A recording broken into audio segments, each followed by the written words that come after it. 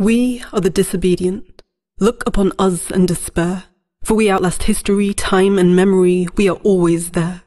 We are the unquenchable thirst for justice, the bodies that do not bend, tongues you cannot straitjacket, and eyes that will not be turned blind. We are the step you trip on in the night, the nightmare you wake from but cannot recall, the lump under the rolling hill that reminds you what is buried there. We are the disobedient. We bear witness and we testify. We love despite the lie that we are not worthy. We hold despite being told we should hide. Yes.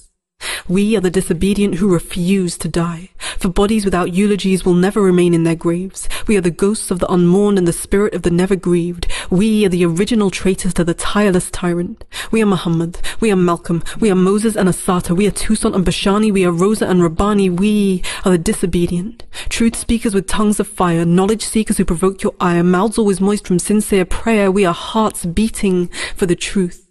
Not like fluttering birds in cages, but like the earth in her final convulsions, like mountains when they scatter to dust. We dismantle, uproot, expose. We are the disobedient. And we have come not to claim what is yours, but what is and always was ours, our humanity. But no, not claim, for it was always with us, and our announcement of that is the blasphemy you burn us for. But there's a reason you mustn't play with fire because flames are not bound by only your aims. If you burn our bodies in the morning, the fire will be licking your heels that night. Do you feel secure then, when we are bound not by law but justice, loyal not to penmark on paper but truth? We are unconquerable and unmanageable, because you can take what you want if all you want is to take. We are your greatest fear, fearless, loyal not even to life.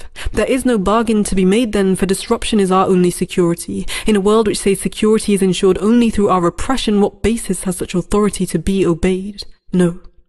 We are the disobedient who refuse to know our place. Undivided, low and mighty, we are a we, a unity, a community, a principle above place. We are the disobedient. We declare the emperor naked and don't kneel before the queen. We smash the idols, confront the pharaoh, append the fabric of the world. We will not sell our souls for hallowed halls. We cannot be unmoved.